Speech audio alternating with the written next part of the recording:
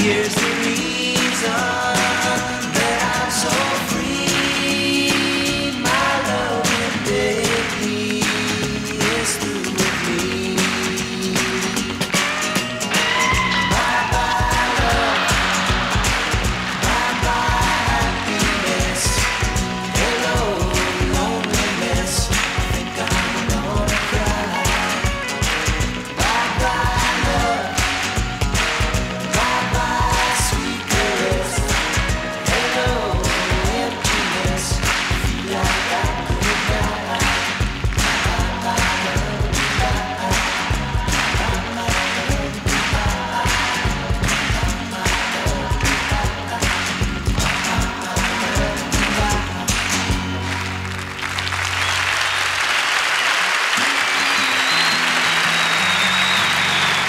Oh, the amazing Simon and Garfunkel and Bye Bye Love, the old song way back in time from the Everly Brothers.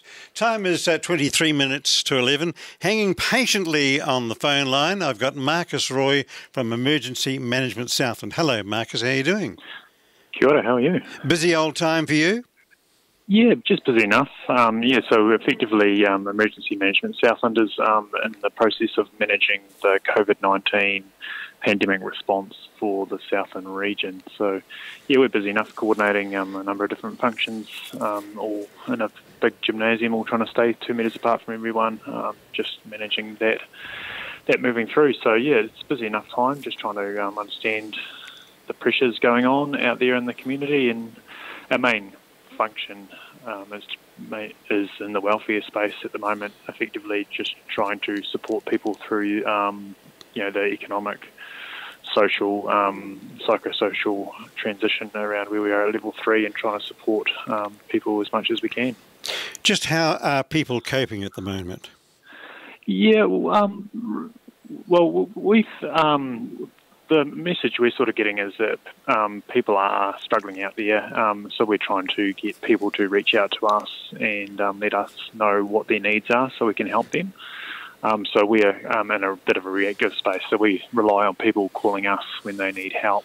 So we've got an 0800 number, which is 0800 890 127. 0800 890127, um, where people can ring up um, Emergency Management Southland, and um, particularly if there's a welfare need. So, for example, um, if people um, are vulnerable and not able to go to the supermarket, um, they can get food deliveries and that sort of thing. Or if there's accommodation needs, or you know, but people losing jobs and need financial support, um, psychosocial support, um, medicine, animal welfare, all that sort of side of things effectively can manage that um, in, a, in a context for Southland. So yeah, we're in that space, and yeah, we've been receiving quite a few phone calls and emails um, on a daily basis um, of people reaching out for help. I was most impressed the fact that Invercargill were probably the first online with an emergency phone number like you've just given. Because I, because after I got that phone number, I phoned Christchurch and then I phoned Dunedin and I found that uh, that Invercargill, or sorry, Southland Emergency Management had uh, kind of be, kind of beaten them all to the draw.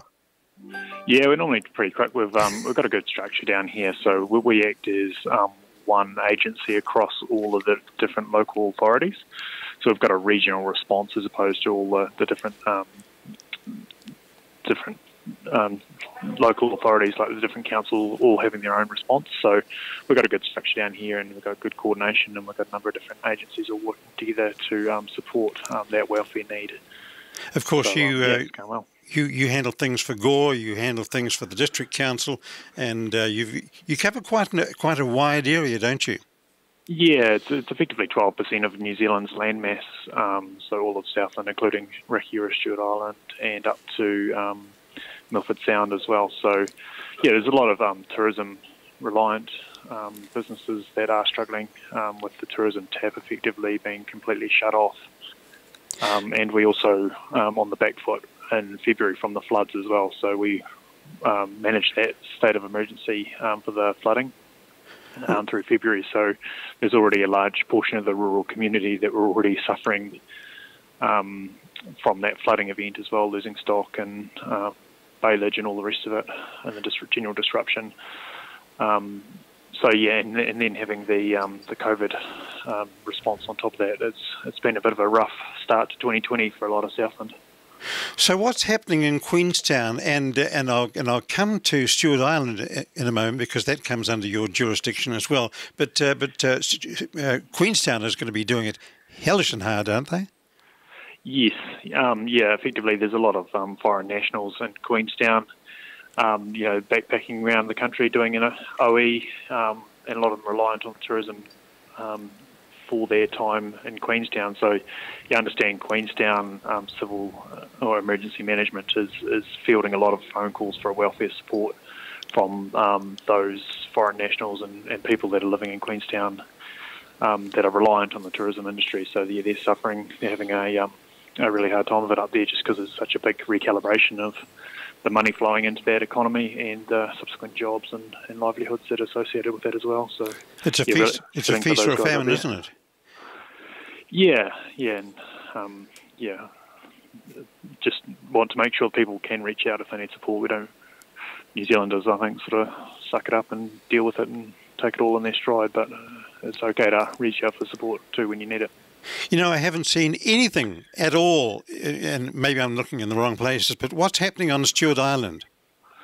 Um, so, Stewart Island, um, they seem to be in a reasonably good space. Um, not aware of any cases over there, but effectively the, the, the, ferries are still operating for essential services and enabling people to um, still connect, but they are reliant on the tourism industry as well and cruise ships.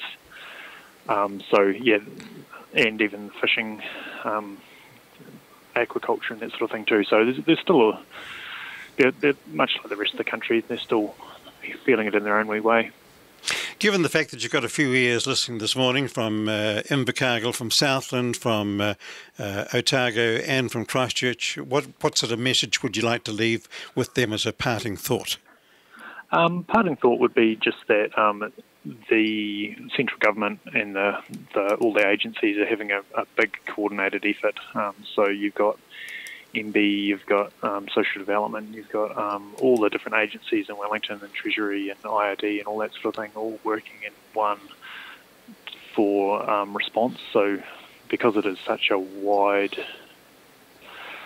big event that um, has a, a, number of different impacts on the different factors, that um, there's if there's any need that you need out there um, in the community and uh, with re- regards to support or anything like that, then reach out and um, make contact with not just Emergency Management Southland. If you're up um, Dunedin, then it's Otago, and further north, your your regional um, coordinator, and seek that um, that support in the welfare sense too. So don't be ashamed to reach out, and if you're able to volunteer and help, then get in contact as well, because there's always people looking to volunteer and people wanting volunteers to help so do we pieces of work too. So do we do we phone that emergency number that you gave uh, regarding volunteering? Yeah, that and also um, volunteering. New Zealand is coordinating a lot of the volunteer response. So uh, like of Grey Power and um, Red Cross and the Student Volunteer Army and all that sort of thing. They're all food banks are all doing their own thing and being supported by Volunteering NZ. So, yeah, either reach out to Emergency Management or Volunteering New Zealand or a specific um, agency that you feel comfortable supporting. So, yeah, if, if you're able to help and you're not vulnerable and you're end, then sure, um, there's a lot of people need support out there. It certainly is. Now, we've got to remember too that uh, with our mature make that elderly listeners, they don't necessarily have a computer or the internet. So uh, the old phone is the way to do it, right? Yeah, phone. Um, we've been trying to broadcast um, messages out on the, the local radio too, just to make sure that our number is out there and trying to get those networks going. And you know, iwi are doing a, a massive amount of work for um, the Kaumatua and people that are in that vulnerable category as well. So, yeah, there's a lot of great work happening out there, and our role is to support those agencies. So we're funding, um, topping up the food banks, and supporting. You know, Red Cross and all those agencies that are out there doing the great work. We don't want to try and undermine any of the work that they're doing. We want to support them, enable them to really know the they know their communities, and we want to really help support their communities through those existing agencies. Well done, Emergency Management Southland, Marcus Roy. Now, that phone number, one more time, if you want to uh, write down the number to get some of your valuable help, that number again. Yes, 0800 890 127. Well done. Marcus Roy, thanks very much. Thanks time. Bye bye. Bye. And the phone number again, 0800 890 127.